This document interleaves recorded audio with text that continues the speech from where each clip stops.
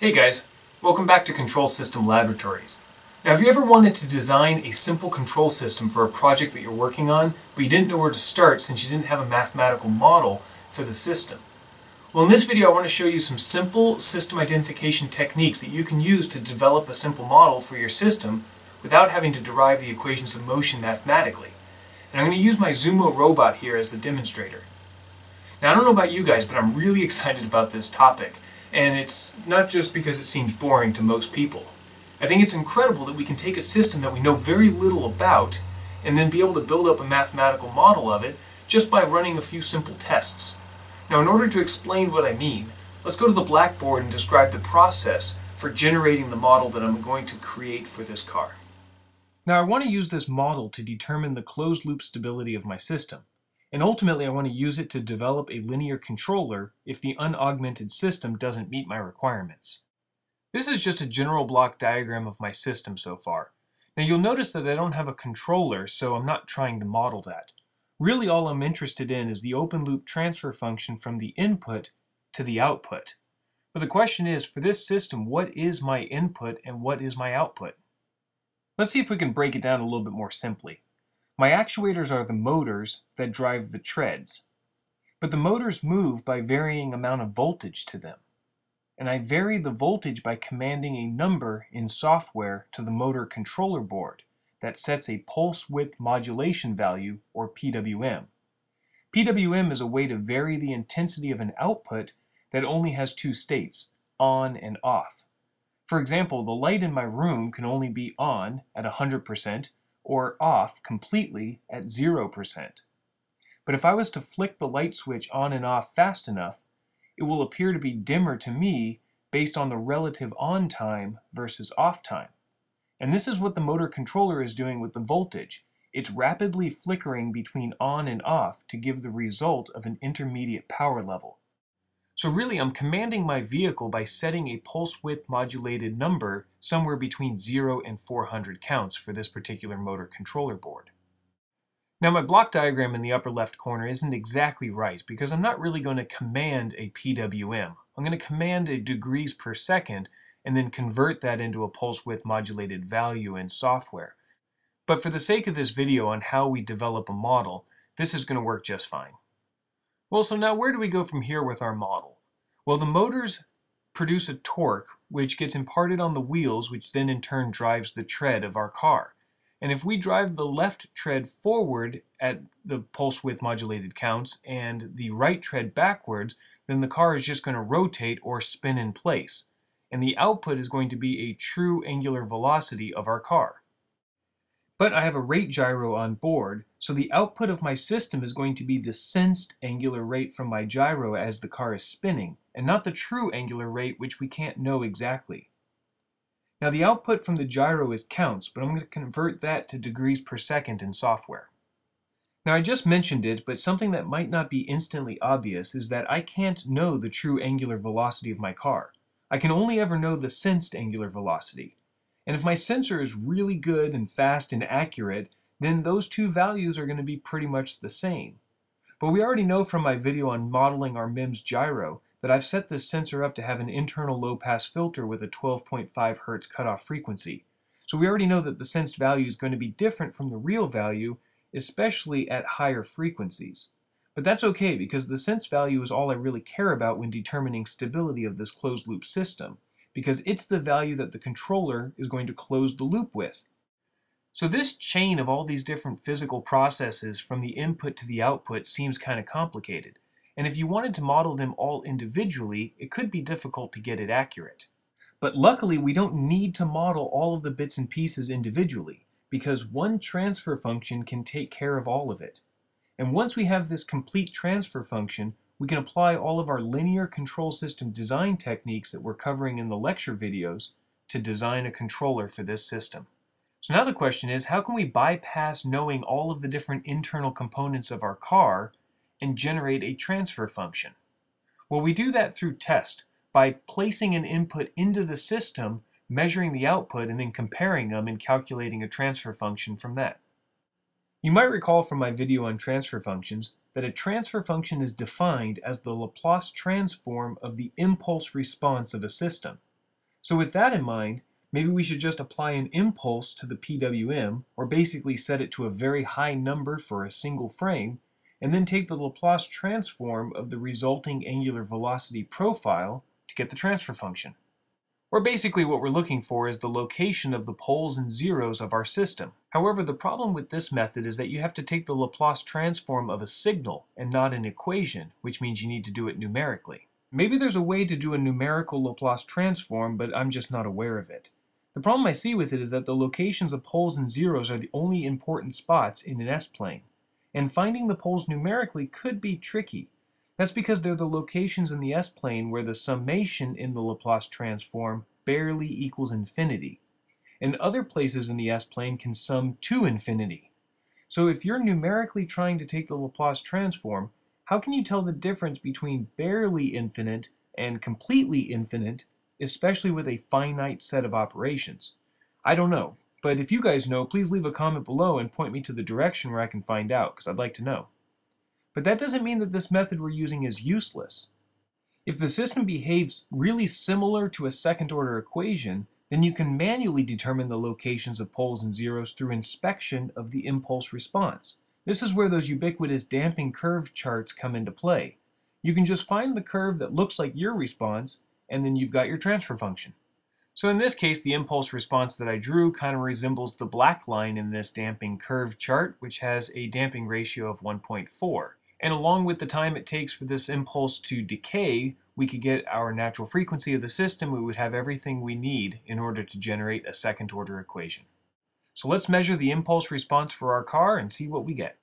I've loaded some software onto the car that will command 200 PWM counts for one frame.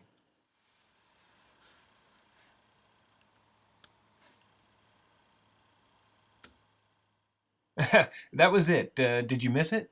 I'll play it one more time from a different angle because it's kind of quick. I think it's amazing that all of that information from the input to the output was captured in that one little blip. So let's take a look at what the sensor saw and see what we can make of it. And here's the plot. Now I've manually drawn in red the impulse which was 200 counts for one frame. And if we compare the resulting degrees per second against our chart on the left, I'd say it's probably closest to that red line with a damping ratio of 0.6. And that's because of the negative amplitude that occurs after the impulse is over. So now I'm wondering, well, does this make sense? I would have expected a damping ratio closer to 1 since the car is a rigid body, for the most part, and I wouldn't expect any oscillations to occur because of this impulse. I think maybe what could have happened is that the torque from the motor stretched the rubber treads a little bit and they acted a bit like a spring. And once the torque went away, the springs recoiled a bit and gave us that little bit of negative velocity at the end. Again, that's just my guess at the moment. I don't really know. But I'm going to move on to a different method and see if we can get a similar result. And that is by looking at the frequency response of the system, or using Fourier analysis rather than Laplace analysis. By using Fourier, we can generate a Bode plot for our system, or basically we can find out how each unique frequency across the spectrum is manipulated as it passes through our system. How much does the amplitude of the signal change, and how much does the signal get shifted in time? From the Bode plot, we can assess closed-loop stability directly, which is what I wanted in the first place, or we can back out the transfer function by understanding how poles and zeros affect the shape of the Bode plot, essentially sketching a Bode plot by hand, but in reverse. So we need to find a way to input every single frequency across the spectrum into our system and measure the output. Now the obvious choice to excite every frequency is just to input every frequency as a pure sine wave into the system. And you can do this using a sine wave that is continuously increasing or decreasing in frequency. This is called a sine sweep, and once you measure the output, you can generate the Bode plot by taking the Fourier transform of that. Or another type of sine sweep, and this one's a little bit easier to see, is to input each frequency in discrete steps and pausing between each one. For example, input a pure 1 Hz sine wave, measure the output, and graph it on your Bode plot. Then move on to a next higher frequency. And in this way, you can build up the Bode plot for each of the frequencies you're interested in. However, I don't want to do this for my car either. And don't get me wrong, this is a fantastic method and it's used all the time. I just want to use a method that's a little bit simpler and less time consuming for an at-home project. Another way of inputting all frequencies at once is with an impulse function like we did earlier. You can see that this is true by taking the Laplace transform of the impulse function, which is just 1. Then set s equal j omega, but there are no s's, so it's still just 1. Well, technically it's 1 plus 0 imaginary. And then finding the gain and phase shift from this. Well, the gain is 1 across all frequencies, and the phase shift is 0 across all frequencies. So it's identical to our sine sweep, except all of the frequencies are condensed into one massive impulse right at the beginning. But we've already analyzed the impulse response for our system and saw that it might not be right. So finally, yet another way to input all of the frequencies is with a step input. A step input passes the low frequency inputs but attenuates the high frequency ones since there's this integrator when going from an impulse to a step. So sometimes you can get a better response from a slow lumbering system like my car from a step response. So let me give you an overview of what I'm about to do. I'm going to command a step input, which means go from zero PWM counts to some non-zero number in one frame. I'm going to record the sensed angular velocity in degrees per second, which will be close to a step in shape, but not exact because of the lag in the system. And it'll probably go to a different height since the input is in counts and the output is degrees per second. I can then approximate a second order transfer function from this data, that is if it matches closely enough from one of the second order damping curves for a step input. So essentially we're doing the same thing that we did for an impulse input, but with a step input and see if we get a better result.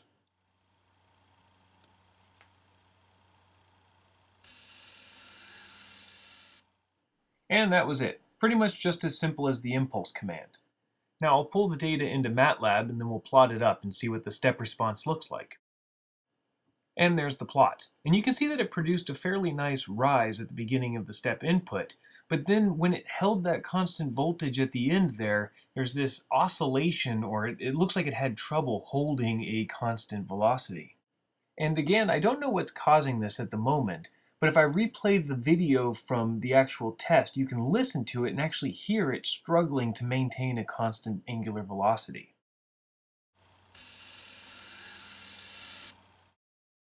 Until I get that figured out, I'm going to focus just on the rise portion of the step response, since it looks pretty good, and we'll compare it against the damping curves for a step input.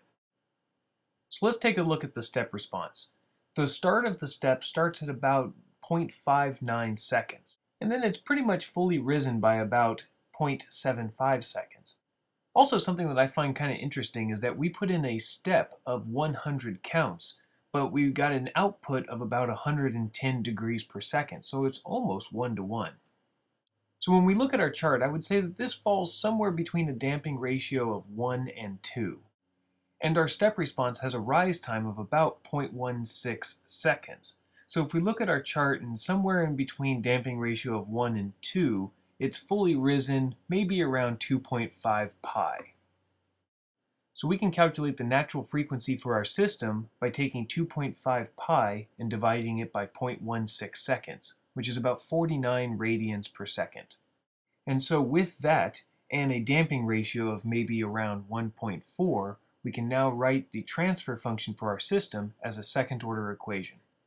Of course, we also have to add a gain to this of 1.1 to account for going from counts to degrees per second. And so there you have it, a second order transfer function that can approximate our system from PWM inputs into degrees per second output. Now I just want to stress that there are a lot of different ways to generate a model for our system, and most of them are probably more accurate than this method. But this is a good starting point for a model that we can expand on in future videos. Alright, so there it is. A simple method for producing a second order transfer function that can approximately describe your system. Of course, you might be asking yourself, well, what if my system doesn't act like a second order transfer function? Then what do I do? Well, I'm going to answer that question and a lot more on modeling in future videos. So don't forget to subscribe so you don't miss any of them. Also, if you have any questions or comments on this video, please leave them below and I'll try to get to them if I can. And always, thanks for watching. Hey Zumo, what did you think of the video? Did you like it? Ah, what do you know? Oh yeah, one last thing. The t-shirts that I wore in this video were sent to me by some of my subscribers, and I really appreciate it, including this one here that doubles as a guitar. But I definitely don't expect you guys to send me stuff, uh, but if you'd like to, I'd put my address on the About page uh, from the YouTube channel homepage, so you guys can find it there. If you send me any t-shirts or little gadgets or anything like that, I'll definitely show them off in my future videos. Alright, I'll see you next week.